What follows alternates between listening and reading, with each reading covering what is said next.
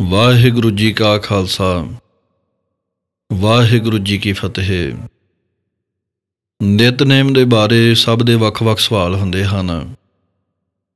ਇਦਾਂ ਦਾ ਹੀ ਇੱਕ ਸਵਾਲ। ਕਿਸੇ ਭੈਣ ਨੇ YouTube ਵੀਡੀਓ ਦੇ ਕਮੈਂਟ ਦੇ ਵਿੱਚ ਕੀਤਾ ਸੀ ਕਿ ਦੱਸਿਆ ਜਾਵੇ ਕਿ ਮੰਨ ਲਓ ਜੇ ਸਾਡੇ ਘਰ ਦੇ ਵਿੱਚ ਕੋਈ ਖੁਸ਼ੀ ਜਾਂ ਗਮੀ ਦਾ ਕੋਈ ਪ੍ਰੋਗਰਾਮ ਹੈ ਤੇ ਹੋ ਸਕਦਾ ਉਹ ਦਿਨ ਸਾਡੇ ਕੋਲ ਨਿਤਨੇਮ ਨਾ ਹੋਵੇ। ਤੇ ਕੀ ਅਸੀਂ ਉਹਨਾਂ ਦਿਨਾਂ ਦਾ, ਦੋ ਦਿਨਾਂ ਦਾ ਨਿਤਨੇਮ ਪਹਿਲਾਂ ਹੀ ਕਰਕੇ ਰੱਖ ਸਕਦੇ ਹਾਂ?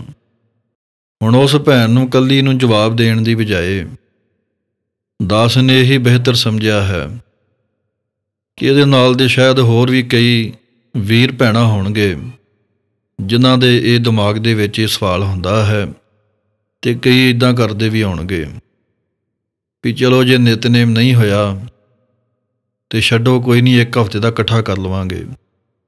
ਕਈ ਤੁਹਾਨੂੰ ਬੰਦੇ ਵੀ ਇਹੋ ਜਿਹੇ ਚਲਾਕ ਮਿਲ ਜਾਣਗੇ ਤੋੜਨ ਵਾਲੇ, ਜਿਹੜੇ ਤੁਹਾਡੀ ਚੜ੍ਹਦੀ ਕਲਾ ਨੂੰ ਬਰਦਾਸ਼ਤ ਨਹੀਂ ਕਰ ਸਕਦੇ। ਉਹ ਵੀ ਤੁਹਾਨੂੰ ਇਹ ਪੁੱਠੀ ਰਾਹ ਦੇ ਸਕਦੇ ਹਨ ਵੀ ਚਲੋ ਜੇ ਤੁਹਾਡੇ ਆਉਣ ਵਾਲੇ ਦਿਨਾਂ 'ਚ ਤੁਸੀਂ ਬਿਜ਼ੀ ਹੋ, ਤਾਂ ਨਿਤਨੇਮ ਐਡਵਾਂਸ ਕਰ ਲਓ।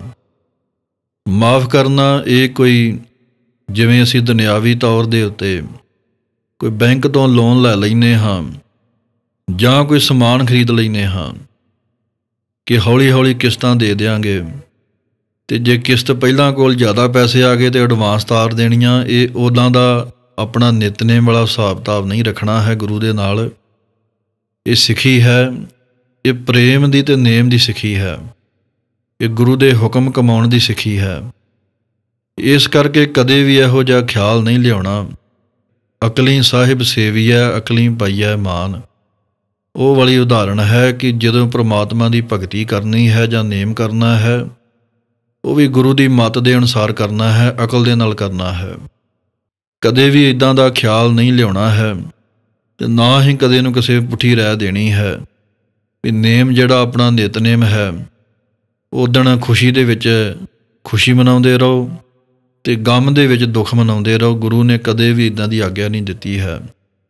ਸਿੱਖ ਨੂੰ ਹਮੇਸ਼ਾ ਦੁੱਖ ਤੇ ਸੁੱਖ ਦੇ ਵਿੱਚ ਨਿਤਨੇਮ ਕਰਨ ਦਾ ਹੁਕਮ ਹੈ, ਚਾਹੇ ਉਹ ਸਰਸਾ ਨਦੀ ਦਾ ਕੰਢਾ ਸੀ। ਹਜ਼ਾਰਾਂ ਦੁਸ਼ਮਣ ਲੱਖਾਂ ਪਿਛੇ ਚੜ ਕੇ ਆਏ ਸਨ। ਮਹਾਰਾਜ ਨੇ ਉਸ ਦਿਨ ਵੀ ਨਿਤਨੇਮ ਕੀਤਾ। ਉਹਦੇ ਨਾਲੋਂ ਜ਼ਿਆਦਾ ਗਮ ਤੇ ਦੁੱਖ ਸਾਡੇ ਤੇ ਕੀ ਆਉਣਾ ਹੈ? ਜੇ ਖੁਸ਼ੀ ਦੀ ਗੱਲ ਕਰੀਏ, ਤਾਂ ਗੁਰਸਿੱਖ ਖੁਸ਼ੀ ਦੇ ਸਮਾਗਮ ਦੇ ਵਿੱਚ ਵੀ ਆਪਣੇ ਆਨੰਦ ਕਾਰਜ ਦੇ ਉੱਤੇ ਵੀ ਨਿਤਨੇਮ ਨਹੀਂ ਛੱਡਦੇ। ਆਪ ਜੀ ਸੂਝਵਾਨ ਹੋ ਵੀਡੀਓ ਨੂੰ ਦੇਖਦੇ ਹੋ, ਗੁਰਮਤ ਨੂੰ ਸਮਝਣ ਵਾਲੇ ਹੋ। ਇਹ ਵੀਡੀਓ ਸਪੈਸ਼ਲ ਉਹਨਾਂ ਵਾਸਤੇ ਸੀ, ਜਿਨ੍ਹਾਂ ਨੇ ਨਵਾਂ-ਨਵਾਂ ਅੰਮ੍ਰਿਤ ਛਕਿਆ ਹੈ, ਜਾਂ ਛਕਣ ਦੀ ਤਿਆਰੀ ਕਰ ਰਹੇ ਹਨ, ਜਾਂ ਨਵਾਂ-ਨਵਾਂ ਨਿਤਨੇਮ ਕਰਨਾ ਸ਼ੁਰੂ ਕੀਤਾ ਹੈ। ਸੋ ਸਾਡਾ ਫਰਜ਼ ਹੈ ਇਹਨਾਂ ਨੂੰ ਬੜੇ ਪ੍ਰੇਮ ਦੇ ਨਾਲ ਸਮਝਾਉਣਾ, ਨਾ ਕਿ ਗੁੱਸੇ ਦੇ ਨਾਲ ਤੋੜਨਾ। ਸੋ ਇਸ ਤਰ੍ਹਾਂ ਧਿਆਨ ਰੱਖਣਾ ਹੈ ਆਪਣਾ ਨਿਤਨੇਮ ਨਿਤ ਦਾ ਭਾਵ ਹੈ ਨਿਤ ਹਰ ਰੋਜ਼ ਨੇਮ ਦੇ ਨਾਲ, ਸਮੇਂ ਦੇ ਨਾਲ ਕਰਨਾ ਹੈ। ਜੇ ਕਿਸੇ ਕਾਰਨ ਕੋਈ ਸਰੀਰਕ ਢਲਿਆਈ ਆਉਂਦੀ ਹੈ ਜਾਂ ਕੰਮਕਾਰ ਦੇ ਵਿੱਚ ਕਿਸੇ ਤਰ੍ਹਾਂ ਦਾ ਕੋਈ ਵਿਗਨ ਹੈ ਨਿਤਨੇਮ ਨੂੰ ਥੋੜਾ ਜਿਹਾ ਅੱਗੇ ਪਿੱਛੇ ਕੀਤਾ ਜਾ ਸਕਦਾ ਹੈ। ਪਰ ਛੱਡਣਾ ਤੇ ਐਡਵਾਂਸ ਕਰ ਲੈਣਾ ਜਾਂ ਜਮ੍ਹਾਂ ਕਰਕੇ ਰੱਖਣਾ, ਇਹ ਗੁਰਮਤ ਨਹੀਂ ਹੈ, ਨਾ ਹੀ ਮਰਿਆਦਾ ਹੈ। ਇਹਦੇ ਬਾਬਤ ਇੱਕ ਪਹਿਲਾਂ ਵੀ ਵੀਡੀਓ ਬਣਾਈ ਸੀ। ਵੀ ਜੇ ਕਿਸੇ ਦਾ ਨਿਤਨੇਮ ਰਹਿ ਜਾਵੇ ਤਾਂ ਕੀ ਕਰਨਾ ਚਾਹੀਦਾ ਹੈ?